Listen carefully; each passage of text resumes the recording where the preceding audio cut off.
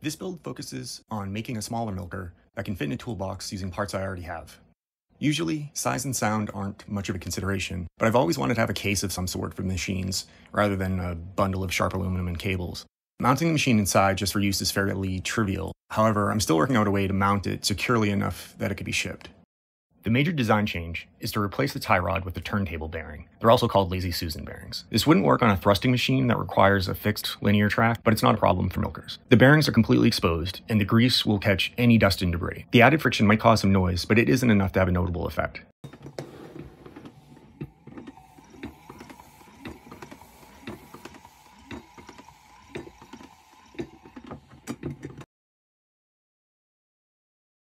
The materials list is not complete. I usually try to only use off-the-shelf parts, but this build has a lot of custom printed parts.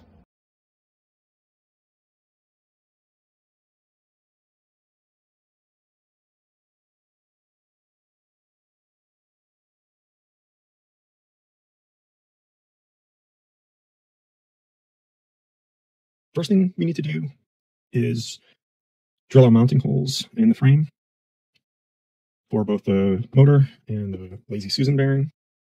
To make sure the holes are accurate, um, I use a template created from the technical diagrams that you can get with the motor. You can print a PDF off, tape it directly to the frame to drill through. In this case, uh, a 3D printed uh, template that has the holes for the motor and the Lazy Susan bearing on the same piece. And I just put a little lip on the edge so it stays in line. Before we mount the bearing to the frame, it's a lot easier to take the cylinder mount and attach that to the Lazy Susan bearing with some M4 screws. So we end up with something like this. The next thing we'll do is we'll attach the bearing and cylinder mount to the frame again with uh, M4 screws.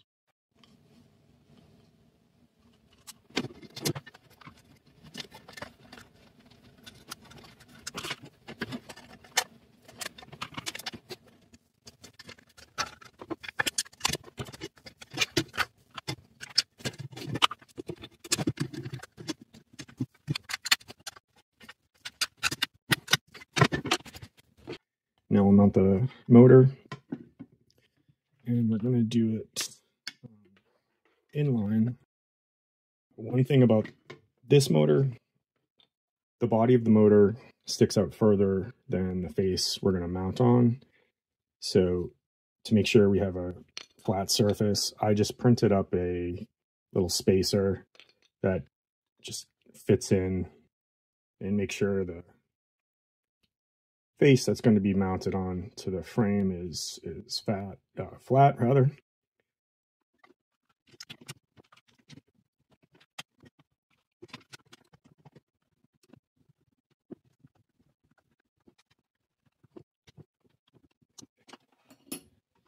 So that is the motor mounted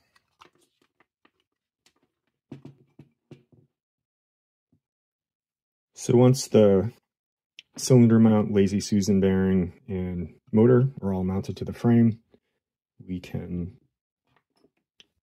put the rocker arm on the motor shaft. Uh, there's a key slot we have to line up, but before putting it on, we'll just assemble part of it. This is an M8 carriage bolt. The square part fits in the slot and that prevents this from turning.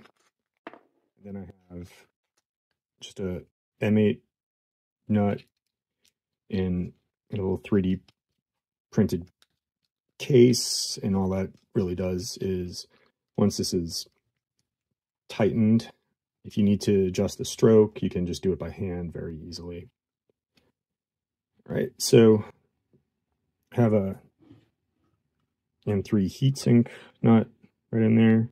We're just going to line that up with the key slot on the shaft. Press it in. And Just take a three bolt, get that tightened.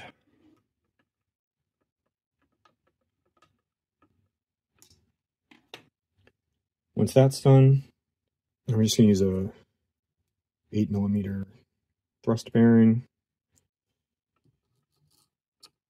And what the thrust bearing allows um, is you can put a lot of force down on it, but it won't prevent rotation. That's critical. And anything like this, if if the downforce is directly onto a nut as the motor turns, it'll either tighten or loosen that nut and it'll be bad. So I'm going to use an M16 I clevis. The, the rod's M16 threaded. Normally I use a Y clevis. They're actually half the cost of these. It's about six bucks each and these are 12. Not a big deal for one, but so I just printed a reducer to take the 16 millimeter hole to 8 millimeters for the carriage bolt. That just pops in.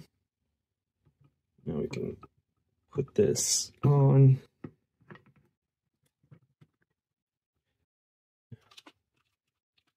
Another thrust bearing on top. Nut.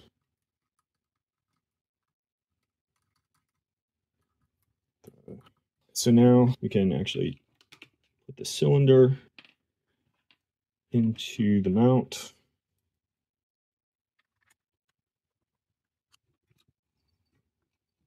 And the reason I'm turning it is just to point these holes upwards slightly. So it's much easier to access. it's tightened. So before tightening this down, um, I'm just moving it by hand, making sure that it doesn't go too far out of the stroke range for the cylinder. Um, the stroke up a little bit, make sure it can go all the way in and it can go all the way out and nothing is hitting it on the frame. One thing to note is when you put your cylinder on is the location of your air holes. You don't want them covered by anything. Um, they both need to be completely open, even though we're only going to use um, the rear. I'll just tighten this down. So once that's attached, again, just make sure everything moves. There we go.